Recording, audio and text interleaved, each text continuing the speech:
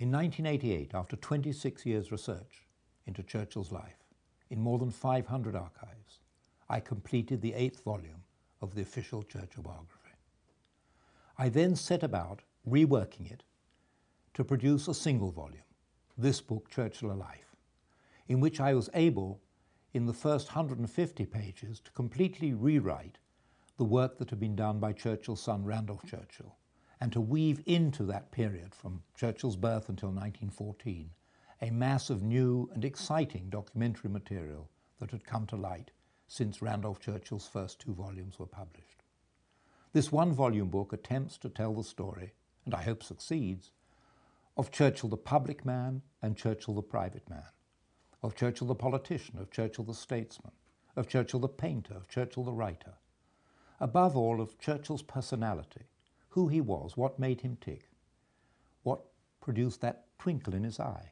and what produced sometimes that frown on his forehead. It's the story of the whole of Churchill's life, a life of 90 years, of which 70 were spent in public office and political activity. It spans two world wars, and it tells the story of how this man was often regarded with dislike and even contempt by his fellow countrymen, how he fought for their approval, how he won it by the quality of his ideas and his foresight, and how in the Second World War, when Britain seemed on the verge of total defeat, he rallied the nation to believe in its own faith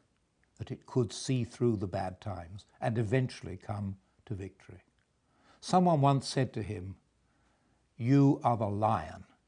who saved Britain. And he said, no, no, I wasn't the lion,